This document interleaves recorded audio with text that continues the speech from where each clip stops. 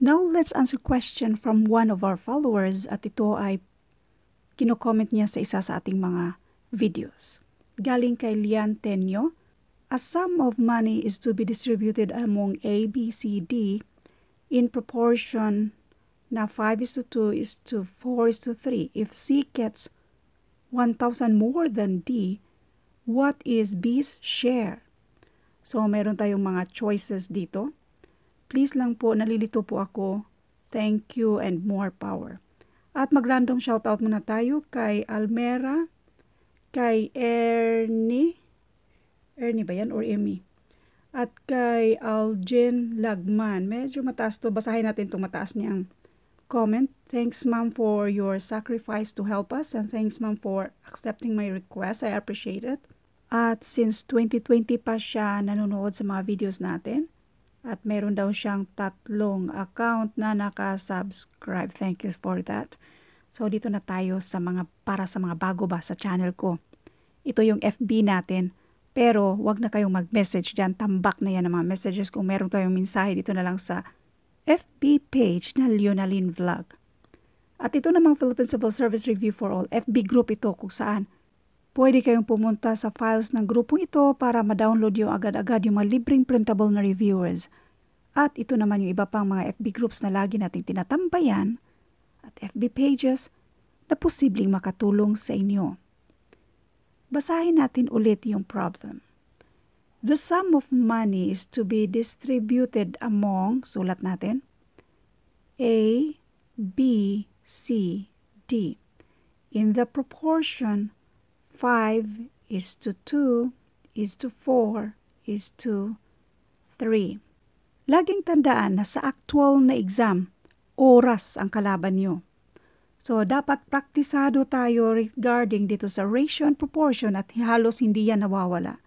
So anyway, let's proceed. If C gets 1,000 more than D, dito pa lang alam na natin yung mga values ni A, B, C, D. Pero dahan-dahanin natin. Ito daw si C ay lamang siya ng 1,000 dito kay D. So therefore, that will be D plus 100 lamang si C. Yung ratio ni C is to D, kung titingnan mo, may lamang dyan na isa kasi nga 4 is to 3. So lamang si C ng isa. Yung isa na yan, yan yung gagawin nating 1,000 kasi yan din yung lamang ni C. So yung 1,000 na yan, i-multiply natin ng 4. Bakit 4? Kasi yung lamang ni C na isa, yan yung 1-4 ni C mismo.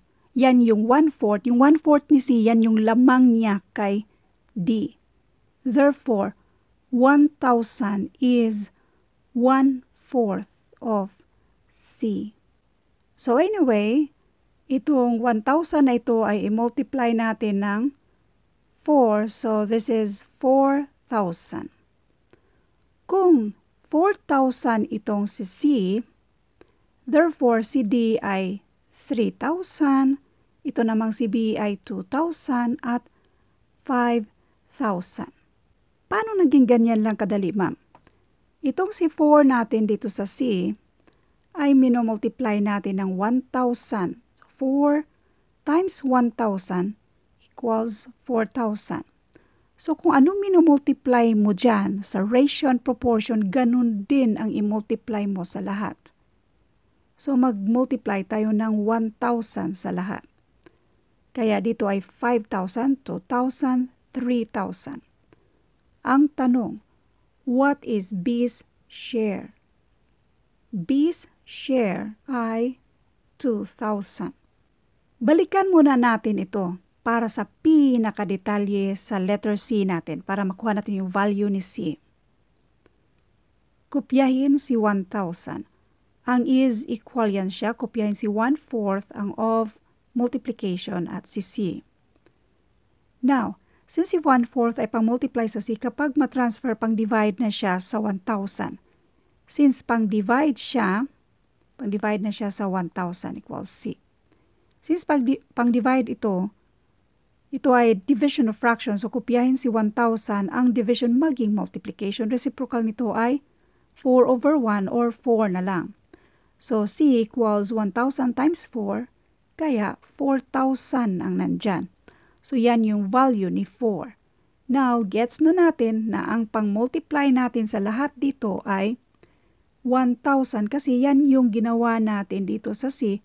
So, ganun din ang gagawin natin sa the rest sa ating ratio and proportion. Kaya ang tamang sagot ay 2,000.